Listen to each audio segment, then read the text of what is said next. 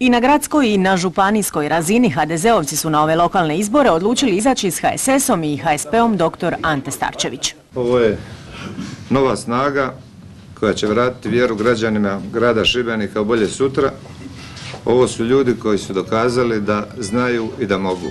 I ja mislim ova koalicija će pokazati i dokazati da nam nitko onaj ko radi na uštrb stranke, koji radi za osobnu korist, neće ostati s nama, neće, neće biti dobrodošao. Dakle, ovo nije koalicija podobni, ovo je koalicija sposobni, a to ćemo i dokazati.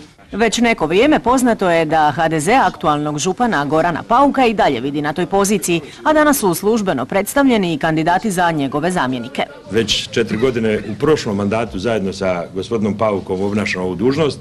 Nadam se i vjerujem da ćemo u sljedeće četiri godine napraviti i završiti sve ono što smo počeli u ovom mandatu. Isto tako proširiti onaj dio projekata koje smo započeli sada i ostvariti neke nove e, korake i nove iskorake.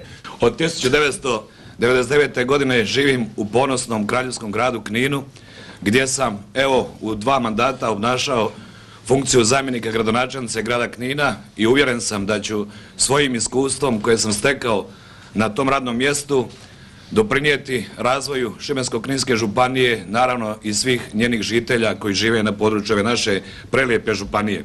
Također predstavljen je i drugi kandidat za dogradonačelnika Šibenika uz Željka Burića i Danijela Miletu u trku za grad će Nikica Penđer iz redova HSP-a dr. Ante Starčević. Drago mi je da smo okupili na razini grada e, političke opcije sličnog svjetonazora i stvarno krenuli u jedan novi list koji nije samo za ove izbore nego ja vjerujem i za puno više i puno dalje od toga. Ovim sporazumom na nivou grada Šibenika i Županije mi želimo jasno poručiti našim biračima našim simpatizerima da ova pravaško demokršćanska koalicija više neće dozvoliti rasipanje glasova, već da ćemo ujedinjeni osvojiti ovaj grad Šibenik sa sposobnim ljudima.